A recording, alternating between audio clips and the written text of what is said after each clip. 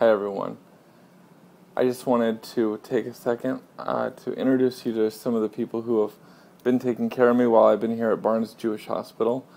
They've got a phenomenal team with some great nurses, uh, stellar doctors, and, and a whole host of other folks that come in and out all times of the night. Yes, poking and prodding, but also uh, making sure I've got all that I need.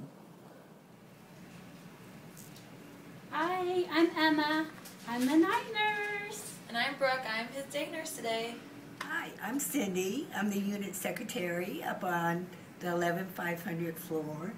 And I'm going to update the board for Scott over here so he knows who his nurse is and who his tech is. And who I am. Yes.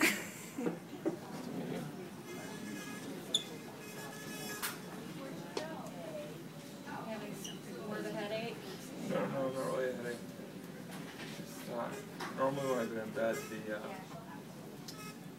my neck is hurt. The in there.